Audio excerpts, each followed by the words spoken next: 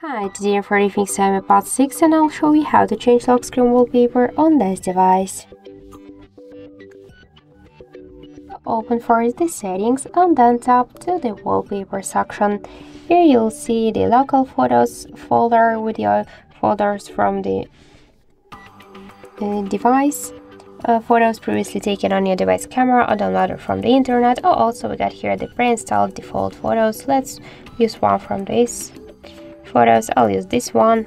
We could here see the preview. And to set it on your lock screen you should tap to apply. Tap set as lock screen. Lock screen wallpaper applied successfully. So let's just check and as you can see is so simple.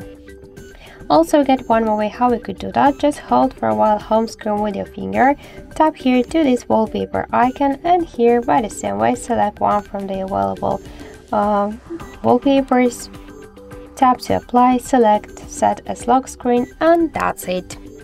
So thank you for watching and if you like this video helpful, leave thumbs up and subscribe our channel.